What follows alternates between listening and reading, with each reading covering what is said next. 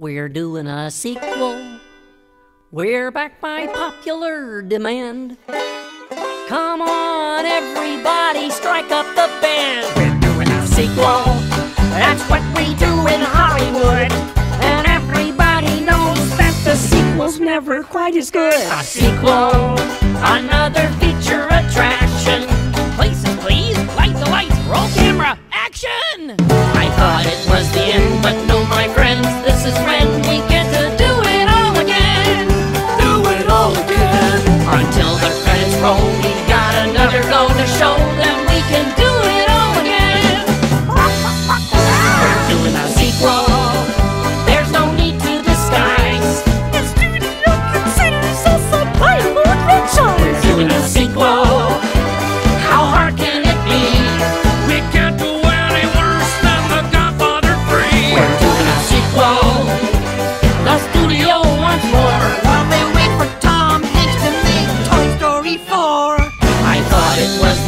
but no, my friends, this is when we get to do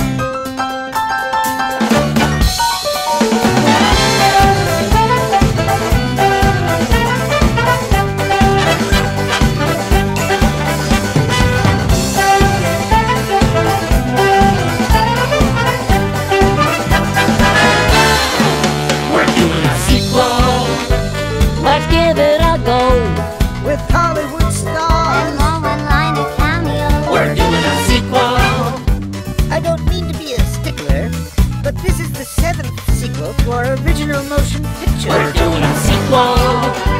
Let's give it a shot. All we need now is a half decent plot.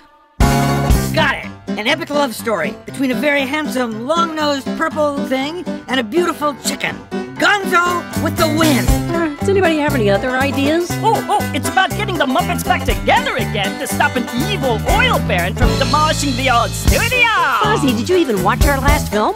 How about one of those fish out of water movies? Yeah, I'm not so sure about that, Lew. It's about a frog who marries a beautiful, perfect pig, and they have to kiss each other a lot! It's for the sure nigger diggy. It's for the sure nigger diggy. I don't think Americans watch subtitled films. How about a movie where you don't make a movie? And we all get to go home early. Good grief. It's about a lonely dog.